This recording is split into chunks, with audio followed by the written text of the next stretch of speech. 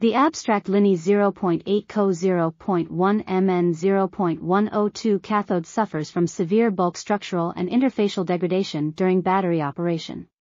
A 3-in-1 strategy involving ZrB2 as a dopant was developed to address these issues. This strategy involves doping ZR and B into the bulk of Lini 0.8 Co 0.1 Mn 0.102, which helps stabilize the crystal structure and reduce microcracking.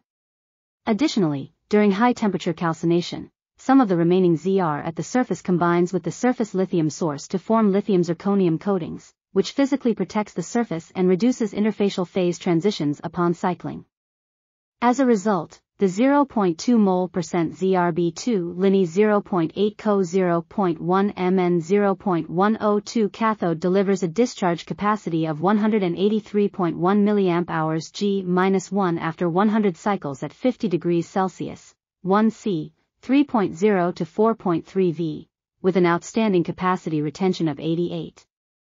This article was authored by Ze Feng, Ranjusha Rajagopalan, Shan Zhang, and others.